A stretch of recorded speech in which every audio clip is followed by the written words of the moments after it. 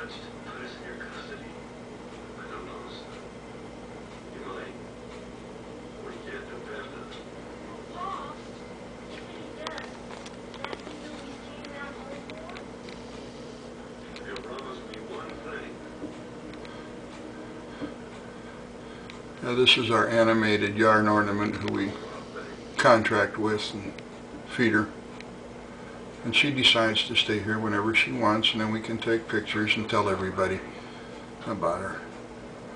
She's been here all morning since about 7 o'clock. On and off, getting up, grabbing a bite, and just laying back down. It's raining outside and she doesn't want to go beyond the rain. This is Precious. Both in attitude and her name. That's Precious.